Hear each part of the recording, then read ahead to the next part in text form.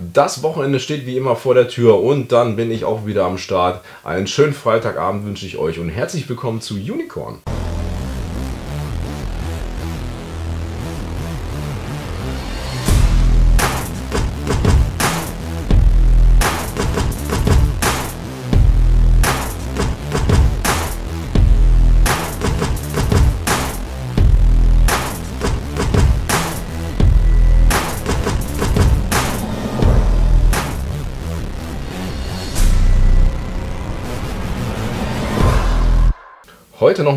Ein Stiletto-Video. Jawohl, ähm, ich habe zwar schon mal eins gemacht, aber viele haben geschrieben und mir Nachrichten geschickt, dass das Ganze zu kurz ist. Und deshalb werden wir das Ganze heute nochmal neu machen und das Ganze auch in doppelter Länge. Ja, auf jeden Fall ein sehr spannendes Thema. Ähm, so einen langen Nagel habe ich persönlich noch nicht gemacht. Wir werden eine doppelte Schablonenlänge machen ähm, und das Ganze mit Gel. Wahrscheinlich ist es auch besser, sowas mit Acryl zu machen. Das werden wir vielleicht auch nochmal durchgehen. Aber wie gesagt, heute mit Gel möchte ich das Ganze einmal versuchen, ob das überhaupt möglich ist, sowas zu machen. Und ähm, ja, lasst uns doch einfach mal mit der Modellage starten. So, der extra lange Stiletto. Ich fange jetzt erstmal an, die Schablone vorzubereiten. Oder die Schablonen werden ja zwei.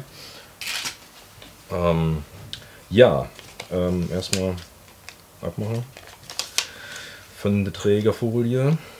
Und dann klebe ich mir, ja, ich klebe mir einen schon mal hier hin. Und die andere, die mache ich hier drauf. Den lege ich mir mal zur Seite, vielleicht brauche ich den gleich nochmal.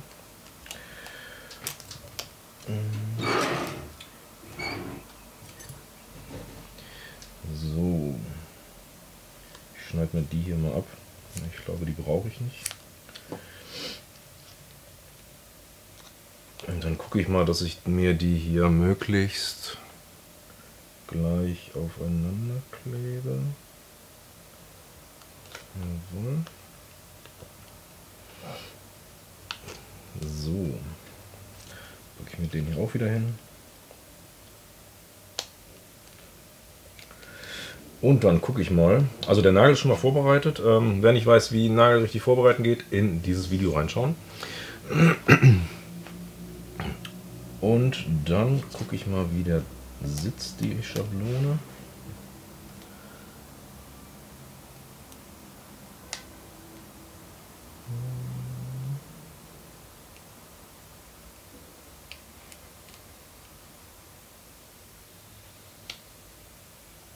Sieht gut aus.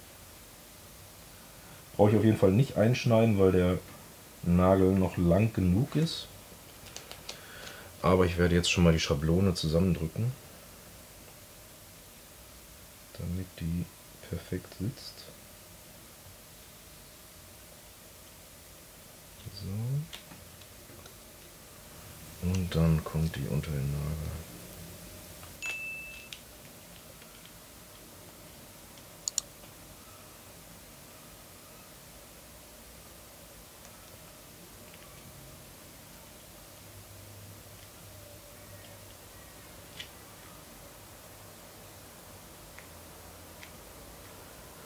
Also bei so einer Länge müsst ihr natürlich wirklich darauf achten, dass ihr die Schablone vernünftig sitzen habt. Und dass, die, dass der Tunnel vernünftig ausgeprägt ist.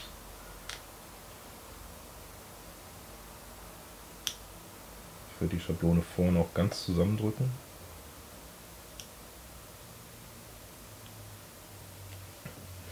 Ja, und dann werden wir das Ganze bis hierhin verlängern. Ich bin mal gespannt, wie das so funktioniert.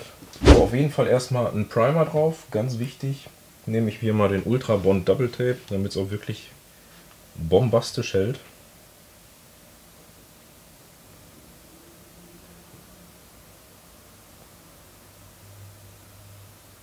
Das Ganze lasse ich kurz einziehen und dann kommt auch direkt das Haftgel drauf. So, dann nehme ich auch das von Fingerspitzengefühl. Habe ich ganz gute Erfahrungen gemacht. So, und dann schmeiße ich erstmal das Haftgel auf den Nagel drauf. Vorsicht, nicht an die Haut kommen. Wie immer, ihr kennt das ja schon aus meinen Videos.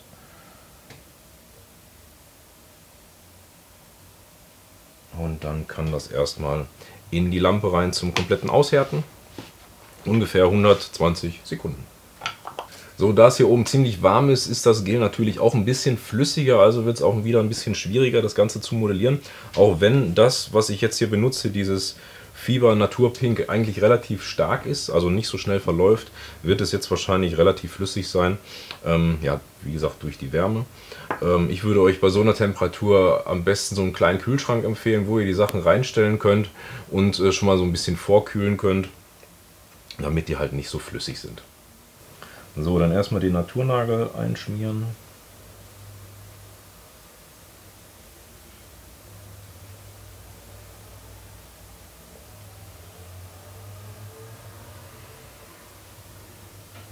Und dann einmal den Nagel modellieren.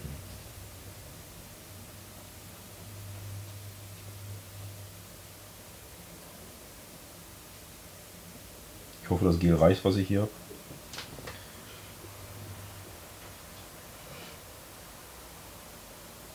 Jeden Fall versuche ich jetzt schon mal die Form hinzukriegen, damit ich gleich nicht so viel feilen muss.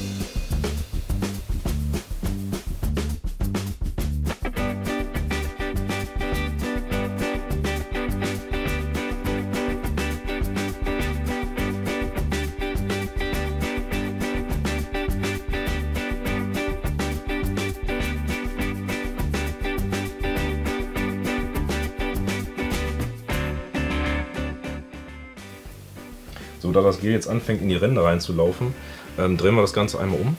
Drehen wir um. Genau.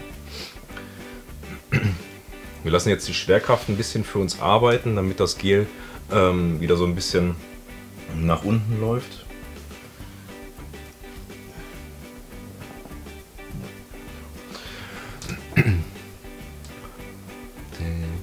Okay, und jetzt rein.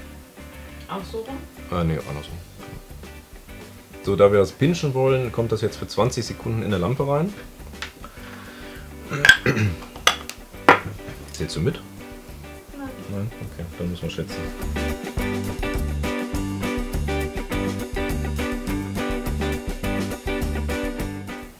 So, dann knibbeln wir das Ganze hier mal ab. Heidewitzka.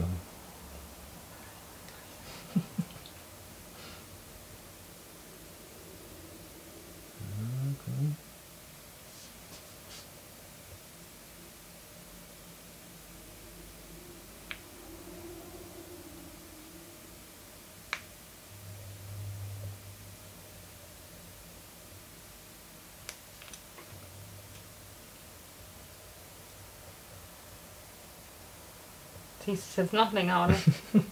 Ich versuch's nicht länger zu ziehen. Meine Fresse. Was willst du mir damit sagen? ja. Da ist er schon mal.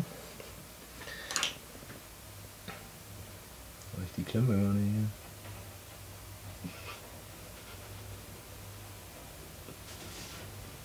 hier? Hätte ich gerne so zur Hochzeit. Alle. Alle. Dann kannst du mich aber auch füttern. Das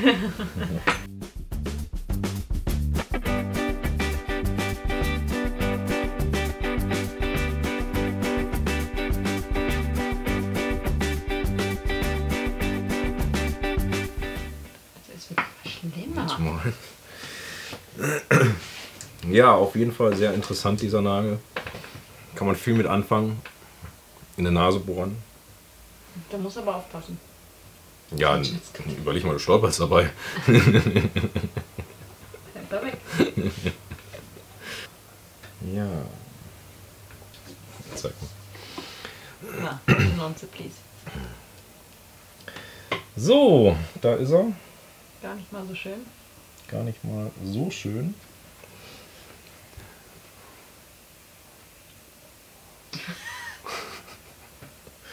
Ja, Passt er denn aufs Bild? Ja, so gerade.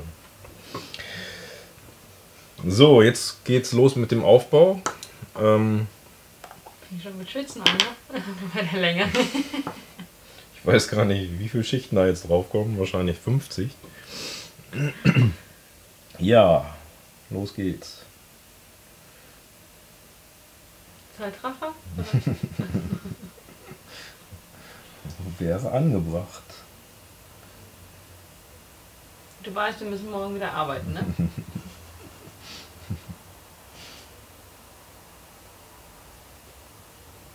Ich glaube, ich mache das hier in den Klappen. Okay. Nein, oder? Nein, hm.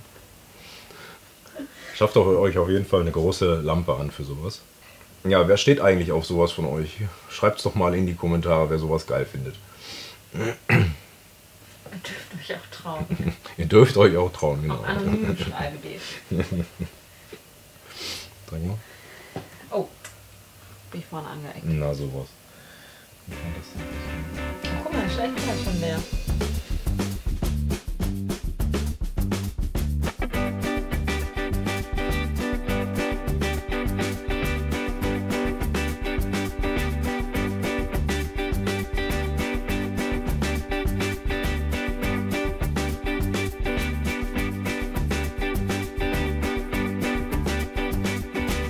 So, ich bin jetzt einmal durch mit äh, dreimal Aufbaugel drauf gemacht. Einmal komplett quasi.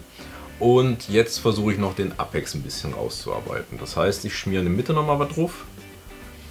Und gucke, dass ich das vernünftig verteilt kriege. Wie auch immer.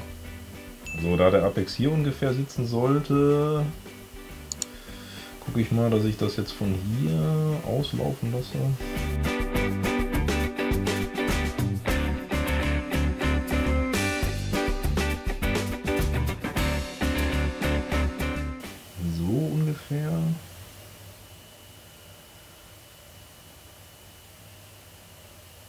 Den müssen wir auch auf jeden Fall gleich mal andersrum halten, damit die Schwerkraft wieder ein bisschen für uns arbeitet.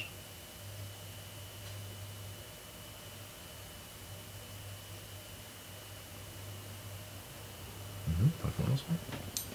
Ja, genau so. Immer schön gerade nach unten halten, nicht dass das Gel irgendwie zur Seite läuft oder so. Ich würde es auch am liebsten an, ich würde am liebsten die Lampe andersrum drehen und dann den Nagel so da reinhalten. Das wäre eigentlich am schlausten. Dann brauchst du eine Konstruktion bauen, wo du das Ding dranhängst. Ja. Gibt es eigentlich Lampen, die andersrum sind? Wisst ihr das? Wenn ja, gerne mal in die Kommentare schreiben. Weil das wäre echt geil, ne? Dann Du hast doch hier noch ein paar Lego-Sachen. oh, dreh mal um. Jetzt rein damit. So, ausgehärtet ist das Ganze schon mal, das finde ich gut.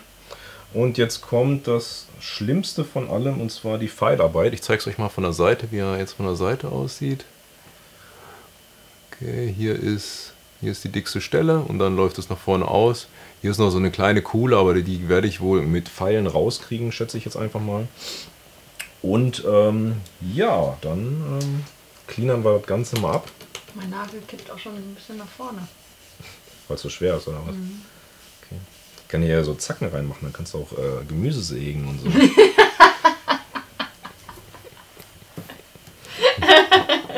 Das ist gut für meinen Salat. ja, super.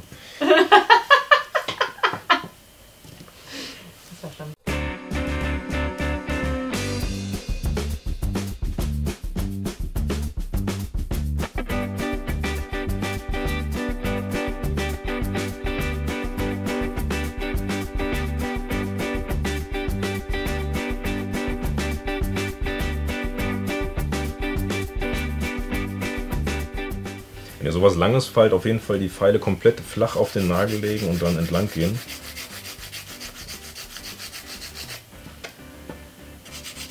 Damit ihr schon eine schöne Oberfläche kriegt und keine Huckel drin habt.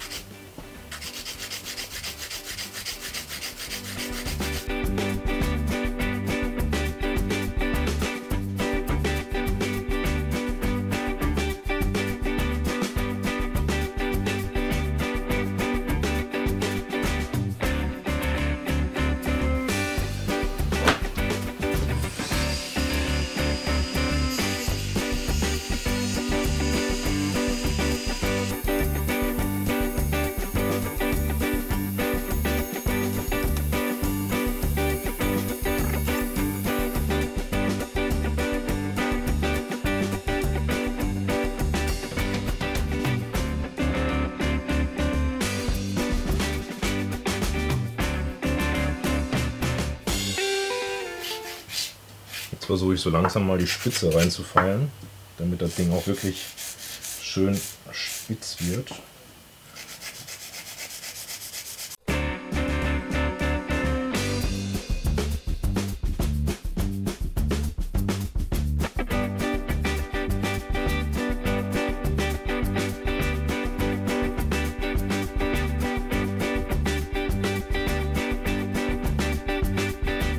Vier bis sechs Wochen später.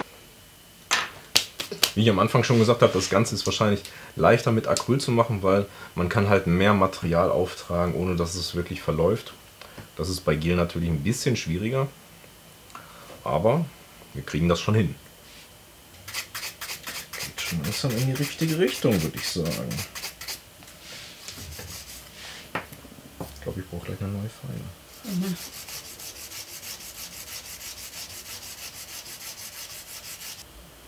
halte immer mal was Dunkles unter den Nagel, um zu sehen, ob ich noch irgendwo in der Form was machen muss. Weil mit einem hellen Hintergrund sieht man es immer so sehr schlecht. Und dann müssten eigentlich fast fertig sein.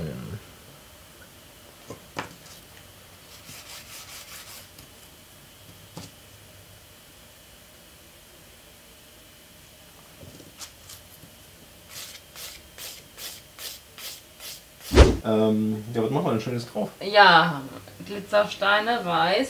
Richtig russisch, ne? Weiß. Weiß mit Schneeflocken und.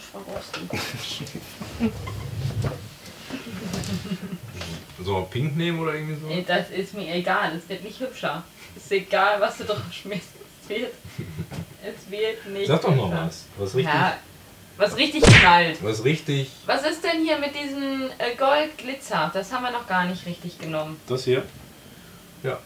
Das können wir nehmen. Wir können auch. Was haben wir noch nicht Schwarzglitzer haben wir auch noch nicht genommen. Nein. Haben wir nicht noch Sockelputz? Nee, Sockelputz passt dazu nicht. Wir haben noch einen Haufen Steine und diese lustigen Perlen. Ja, geil. Aber das ist dann noch mehr Arbeit, das abzufallen. Ne? Schmieren die Kacke da drauf. Dann ist die Flasche leer. Hast du wieder ein bisschen Platz. So, jetzt lackieren wir das Ganze auch noch mit Gülden, damit es so richtig pornös wird.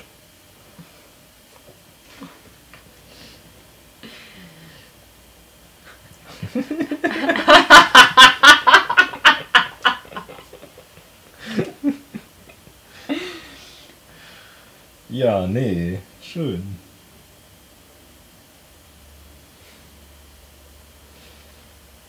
Gar nicht mal so geil.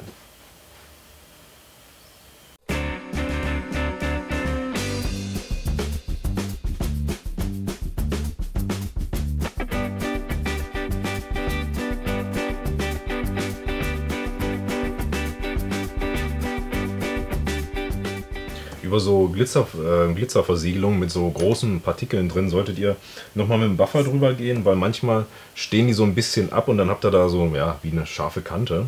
Und mit so einem Buffer könnt ihr das dann nochmal ein bisschen ausgleichen. Und dann einfach nochmal mit einer Versiegelung drüber. Und dann seid ihr fertig. So, jetzt machen wir noch schnell ein paar Fotos und ein paar Videos davon und dann kommt das Ganze wieder ab. So, wie gewonnen, so auch zerronnen. Oder wie sagt man das? Wie gewonnen, so auch zerronnen. Ähm, wir machen das Ganze jetzt wieder ab.